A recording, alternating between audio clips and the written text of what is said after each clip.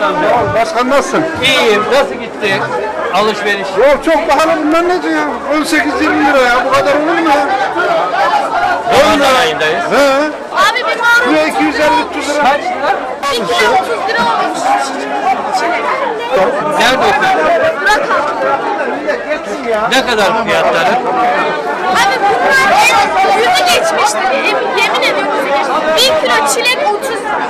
Hadi nasıl verek? Çocuklar istiyor. Ağlıyor almasın bizi. Ya sen yüzütün.